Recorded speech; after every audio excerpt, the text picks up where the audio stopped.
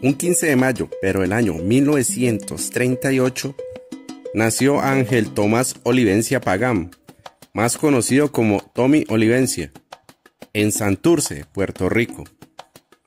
Afamado trompetista y director fundador de su orquesta La Primerísima de Puerto Rico. Aunque su pasión fue la trompeta, desde niño mostró cualidades de líder,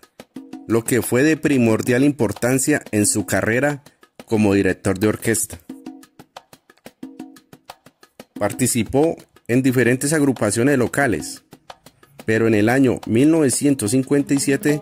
luego de graduarse de la Escuela Superior de Arecibo, se traslada a Villa Palmeras, en Santurce, donde formó su primera orquesta. Ya para la época de los 60, comenzó a dirigir cuando contaba con 22 años de edad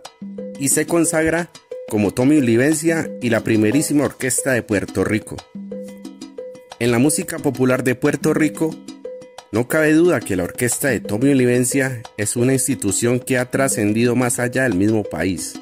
no solo por su estilo original, sino también porque por ella, a través de sus más de cuatro décadas de existencia, pasaron muchos de los mejores y más cotizados cantantes y músicos del género de la salsa, tales como Chamaco Ramírez, Paquito Guzmán, Sammy González, Simón Pérez, Lalo Rodríguez, Gilberto Santa Rosa, Marvin Santiago, Frankie Ruiz, Héctor Tricoche, Paquito Acosta, entre otros más. Es por ello que simpáticamente le llamaban la escuelita. Entre sus trabajos más importantes se encuentran Trucutú, Jala Jala y Guaguancó, Fire Fire, Fuego Fuego, la nueva sensación musical, a toda máquina, cuero, salsa y sentimiento, plante bandera, un triángulo de triunfo, celebrando otro aniversario, 30 aniversario, entre otros más. Tommy Olivencia será toda una leyenda en el ambiente artístico latinoamericano